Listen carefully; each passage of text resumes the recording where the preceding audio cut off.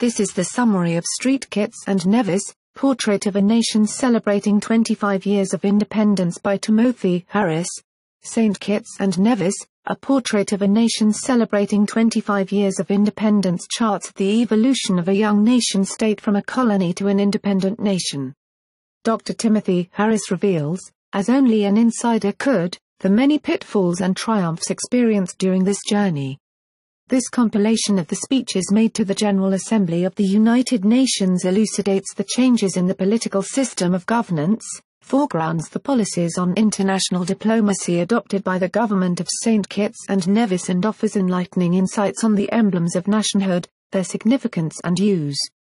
This timely publication commemorating the 25th anniversary of the independence of St. Kitts and Nevis is an important reference work not only for the people of St. Kitts and Nevis, at home and in the diaspora, but also for the entire Caribbean community and beyond.